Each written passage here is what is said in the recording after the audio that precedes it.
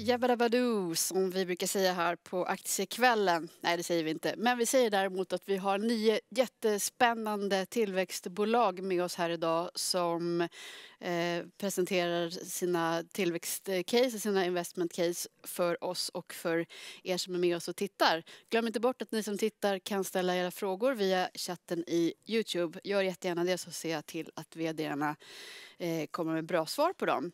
Uh, now let's switch to English because our next uh, guest and our next CEO uh, will, hel- will hold his presentation in English. And this is eh, uh, CEO Morten Albrechtsen, uh, CEO of FluoGuide. Warm welcome, Morten. Thank you very much. Are So, um, Are you based in uh, Denmark? Are you are you Yes. there at the moment? yes, we're based in Copenhagen. So uh, we're here at the moment, sunny Copenhagen at the moment. I guess it's also sunny in Sweden now in Stockholm. Yeah. Uh, okay, so I'll leave the stage and the screen for you. So uh, please wel- be feel very welcome.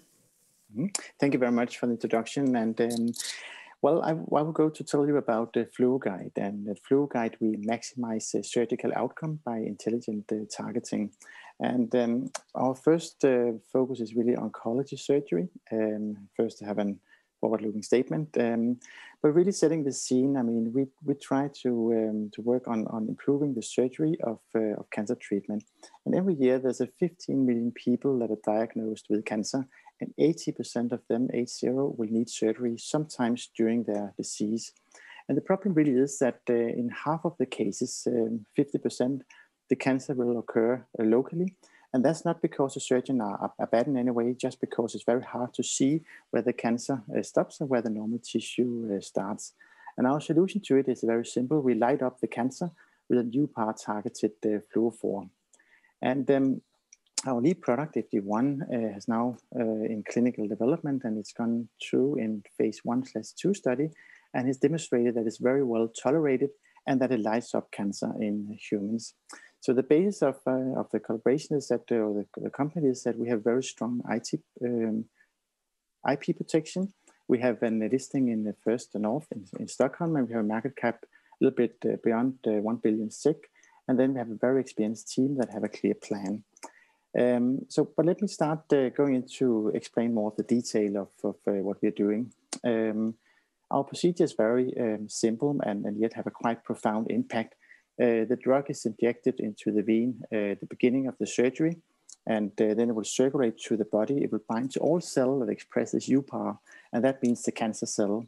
Then during the surgery, the, uh, the surgeon will switch on the fluorescent light, and then they can see the cancer very precisely. And that obviously helps the patient because um, they have an improved uh, possibility to be completely cured. The surgeon can remove all cancer the first time, but the hospital also they can uh, save on cost on reoperation, more aggressive treatment, and um, can benefit from it in the sense that they actually uh, provide a better service to uh, to the patients.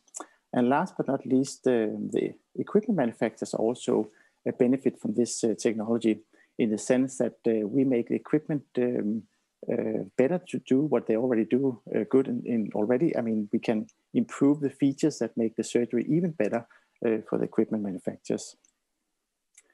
And it's quite a nice thing for a company of our kind to have friends all over uh, because we are coming in as a small company in, in a very big field, and that is uh, quite important. So the market we target uh, to begin with is about 5 billion US dollars, and it's a quite huge market. and that's with our current plan. And that um, is interesting because UPAR is very extensively expressed on almost all uh, uh, cancers. So if you look at the, the more prevalent cancer, you have breast cancer, you have lung cancer, and colorectal cancer. Um, but also more rare cancers such as the glioblastoma, uh, which is the first indication we are targeted. It's more um, a rare disease, but it has on the other hand has uh, orphan drug uh, designation uh, potential. So the high-grade glioma or the glioblastoma is characterized with a very uh, profound invasive growth. So it grows into the into the brain, and as you can see in the image, it's kind of spread into the into the brain, and that's very hard for the surgeon really to remove all that cancer at the first uh, time. They therefore have a very poor uh, five years uh, survival rate, and only uh, one out of 20 patients will survive in five years. There are no surgeon. They already uh, used to work with the technology, And, um, and that's one of the reasons why we have selected this, uh, this cancer as well. One of the very interesting things with the FluoGuide as an investment case is, um, I'm sorry, I'm such to have something in my, my neck here, is that we have very short path uh, to, to, the, to the approval. We have very short uh, clinical studies, and we have uh, two, two studies that are needed in, in the approval. The first one is a safety study, and uh, where we have a proof of concept. And the second one is a study where we prove it in uh, for regulatory purpose. The studies are very short. We have the inclusion, we have the surgery done under white light, we're switching them to the fluorescent light, and then we have a pathology uh, to validate that actually what it lights up is uh, actually cancer. And the key thing with the FluoGuide is that we have very short, simple, and small uh, clinical studies. So in our first study now that is ongoing, we have had very interesting results. So we have treated uh, 13 patients already, and uh, our products have demonstrated to be very uh, safe and also that lights up cancer in, in the patient. It's interesting that we have four cohorts, and that means that we should have had 12 patients, but in fact we have 13 patients. And the key reason for that is that we have one additional patient that had a non, um, non-glioma uh, that uh, was indicated with a, a non-brain cancer. And it was quite interesting that we saw that this patient also light up very well, and meaning that we have a potential also outside of the brain, uh, as it's a non-brain derived uh, cancer. But the key point is that our all uh, patients have uh, demonstrated the cancer, and that has been uh, well tolerated for, for all of them. Also, we have a very strong uh, preclinical package supporting this, um, this study, and that is the four-week study we have done there, where we have been stopped by feasibility, so we could not increase the dose more because um, we could not uh, dose higher up in, in the animals.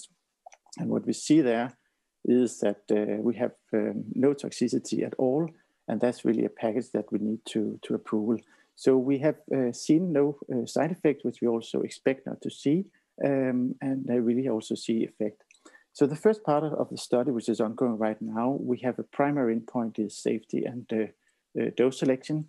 And when we have selected the dose, we move into the second part of the study, where we will have a proof of concept uh, in the end of the end of the year, and um, all our our result will come in uh, third quarter and fourth quarter this year. So in terms of competitors, we are quite well positioned. Um, there's been some first generation products that are uh, unspecifically uh, uh, to, to the cancer. They're forming a metabolite that, that is formed a cloud around the cancer. And then they are using visible light which means that you can see it one to two millimeters into the tissue. All the, the other products that's coming forward is the second generation product, and they are based on near infrared light, where you can see it one to two centimeters into the tissue. And if uh, you remember the image of the brain cancer before, it was very invasive uh, growth into the brain, and that's for it's obviously very important that uh, you can see it uh, deeper into the tissue than one to two millimeters.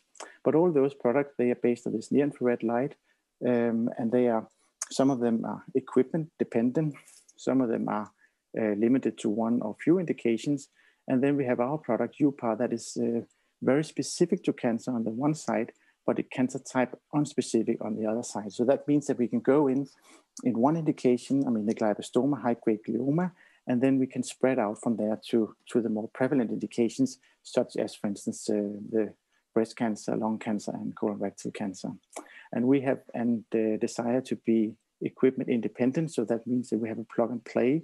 We can go into the current equipment base, the current neurosurgeon, and we don't have to first to train them and um, and uh, have a slower penetration due to due to that. So the surgical field is quite interesting. There's a kind of a technolo technological evolution going on in surgery, and um, in old days, I mean, it was kind of open surgeries very manually. But nowadays, uh, a lot of different kind of technologies is coming into the field. I mean, there's microscope in the brains, endoscopes in stomach and lung, and there's more robot-assisted surgery in, in other indication, also in the stomach, that where the, uh, the surgery is being automated. Um, and really, what drives it is the digitalization, is minimalization, and also automatization that is uh, really makes the surgical field uh, becoming much more effective and also more precise. And the very, very neat thing about that is that um, the fluorescent uh, guided surgery, where we belong to, is really enabling this uh, to happen and actually enable the surgeons and equipment to perform even better. So it's a very interesting time we are in now where we help this to, to happen. And as you can see, there's many um, companies on, on the list, and many of them is well recognized, and um, we are in dialogue with, with all of them. And um, I think that what is quite important to, to, to, to also to realize is that it's a lot of different kind of collaborations we can take um, with, the, with the different indication, different uh, equipment, and also um, different uh, applications. So our pipeline is um, have two products in the pipeline. So right now the lead indication is glioblastoma or high-grade glioma in, in, FG1, and we have uh, we'll have the result in Q3 and Q4 this year. Uh, safety and efficacy. Um, we will then go into uh, one of the more prevalent indications also this year with the FG1, and then we have a second product where we licensed it in last year, and we are doing the preclinical studies now and also ready to move that into development in the beginning of, uh, of next year. And then just very recently, we licensed in the photothermal therapy, which is a quite very interesting concept, in fact. Um, we um, can, with this technology, we can actually, because of the fluorophore we use in our product, we can uh, heat it up uh, by normal uh, lasers, and we can uh, do that at a temperature where it does not uh, damage the normal tissue around it, so that means that we have a very specific uh, destruction of the cells to which our product is binding to. And as we at the same time use a UPAR, we have very specifically bind uh, uh, fluorophores to the cancer cells, and that's actually where this uh, laser then destroy them. And that means that if you consider a neurosurgeon that uh, uh, are doing the surgical procedure, they see some cancer in there, but they cannot remove it because it's infiltrating very sensitive structures. And that's often the case. Approximately one third uh, of the patient have this situation. And that could be the center of speech or it could be movements. And no surgeon cannot really move, remove this cancer because they know if they do uh, remove it, then uh, the patient will have a disability after surgery. So what the, this technology then can do is that you can actually sweep this area with light and you can actually kill the cells deeper into this um, critical structure that's been infiltrated by the cancer and that way, actually, you can clean it and uh, potentially cure the patient. So we have quite high expectation of this photothermal therapy as an add-on to, to the uh, guidance of surgery. Um, and uh, of course, particularly relevant for the neurosurgeon, but also other uh, types of, of, of, surgeries.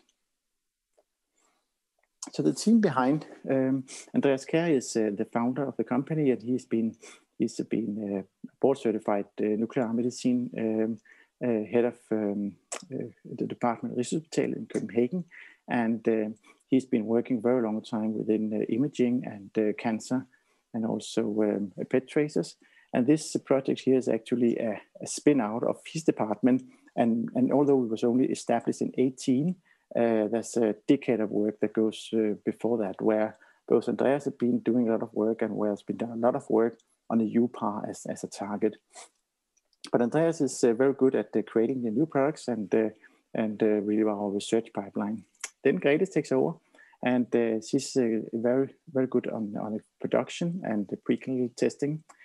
she's done that in Ascendis Pharma, where it was a very successful American, or it's a Danish company, but listed in, in the US, and um, has done that with a quite complicated molecule, where she's taken the whole way forward to uh, to uh, NDA. Um, then there's uh, Grete, sorry, a daughter that is doing the clinical development. And what is important with her background is that that's both cover uh, medical device, but also uh, drug uh, development. And although we are regulated as a, as a drug, we actually have a lot of the device philosophy in, in the development. And we have to master both of, both of them, and daughter can do that. Henrik is our CFO that came on board last year, and uh, really starting up uh, the whole commercialization as we become uh, partnering and become more important for us. So Henrik got, on board for that reason.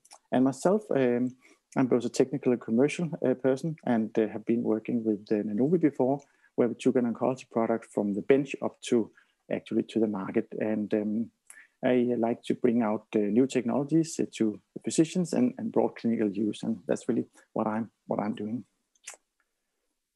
So to summarize um, um, the investment here, what we uh, we have we have a very uh, big market. We have more than 15 million patients every year that need surgery, and we have a UPAR that is um, uh, very uh, extensively uh, expressed by um, by these patients, and we also know that it's on the forefront of the cancer, so a relevant relevant target.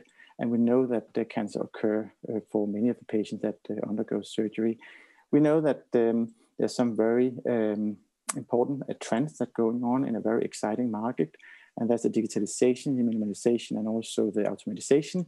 And they really drive the change of how surgery is done today, and uh, in a way that has been um, improved quite a lot for the patient. And that's actually an and the trend we can uh, go in and further uh, accelerate and also um, uh, fit into.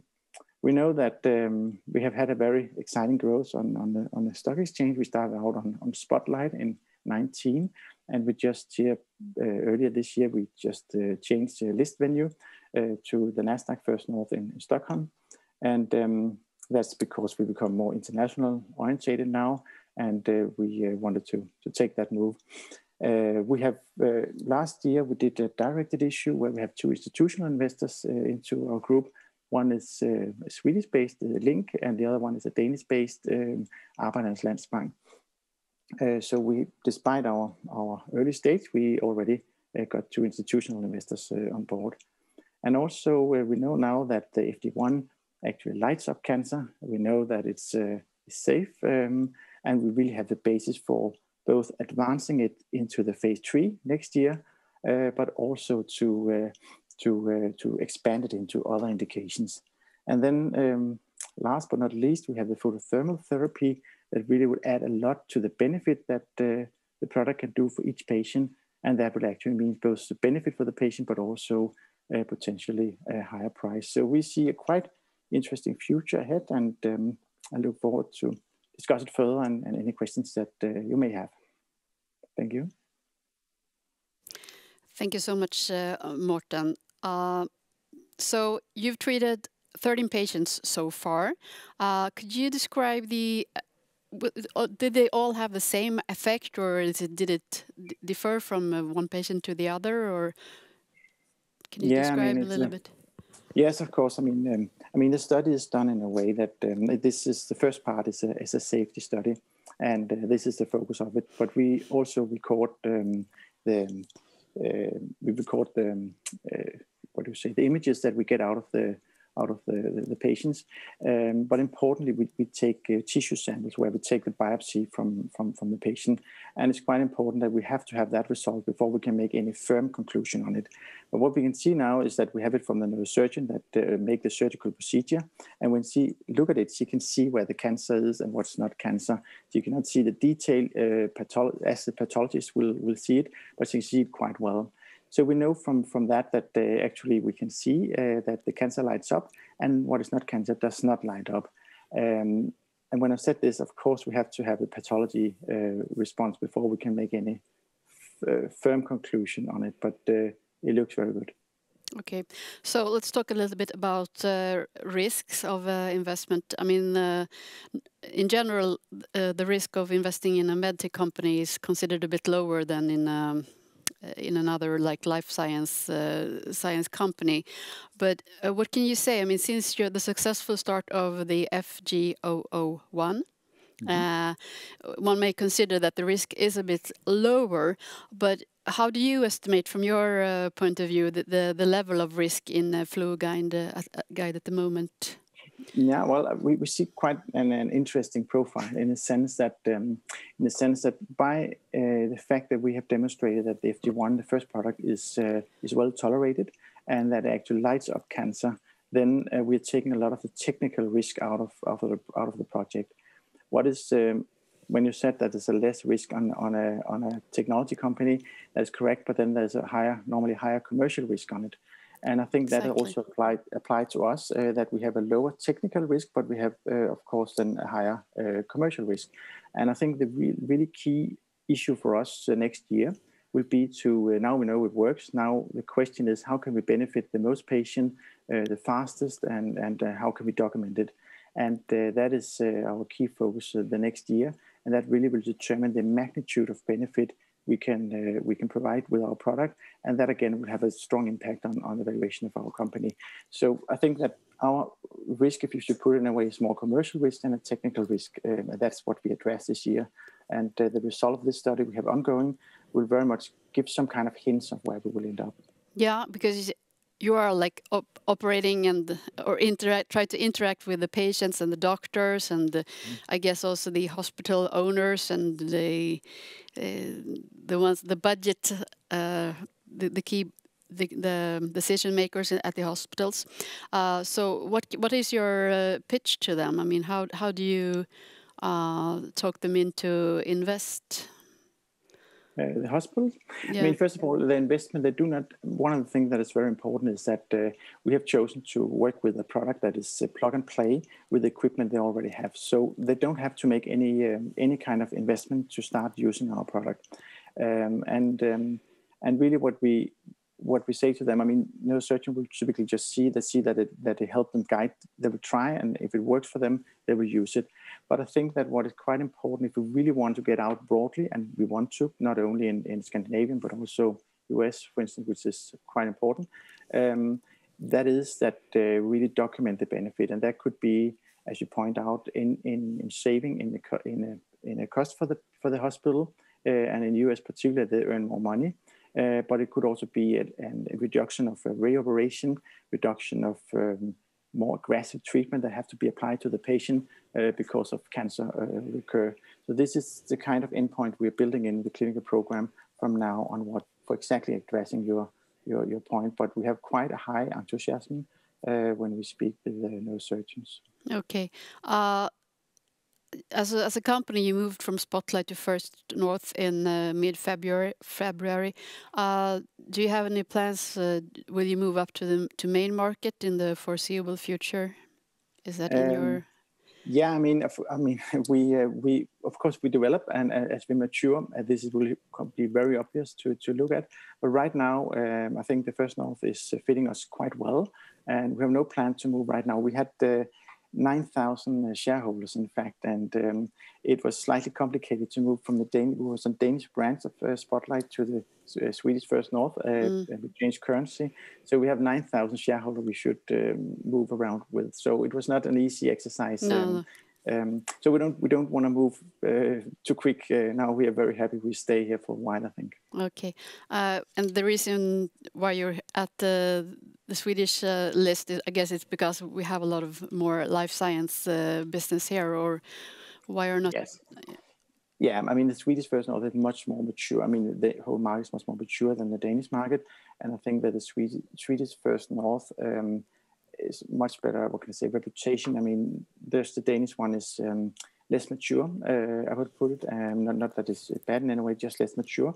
Um, and um, it, it's obvious for us to to uh, to be listed in, in Stockholm. Yeah. Uh, and let's uh, talk a bit about your uh, patent portfolio, because mm -hmm. in as in February, you announced two new patent applications covering the use of uh, UPAR in um, enhancing surgical precision precision by il illuminating cancer cells. Uh, mm-hmm. do you feel confident regarding your portfolio of patents, or do you still need some more to in order to secure your uh, your products and candidates? Mm -hmm. Yeah, no, that's good questions. I mean, we we have the first patent. Uh, we have we acquired that when we uh, was IPO'd in Spotlight um, back in, in 19, and that will uh, cover the product until uh, 34 uh, actually. And um, what we what we then are doing since that is that we have uh, tried to to to broaden the patent portfolio. So we are we are protecting everything around UPAR used for surgery. That is what we define as our field. And there's two aspects of, of patents. One is to be able to protect your product, and the other one to uh, is to avoid that you infringe other products, uh, other companies' products.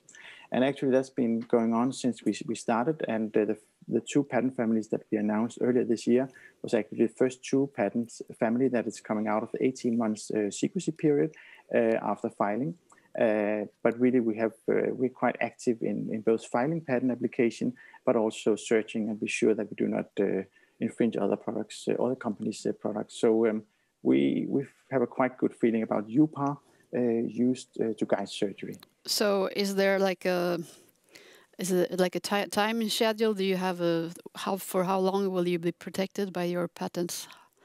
Yes, we'll be uh, uh, protected to 24 uh, for the first product. Uh, I mean, the patent, uh, the patent um, that is issued in US, Europe, that will protect the, the product.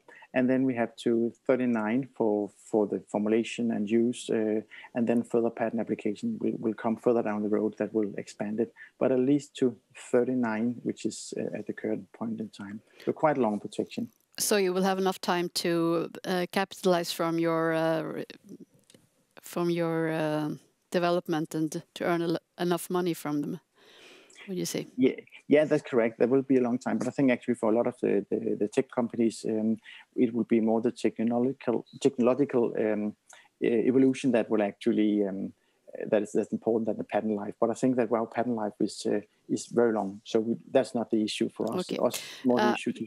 Could you describe your financial situation do you feel uh, secure about how to run your business, considering mm -hmm. your birth burn rate or?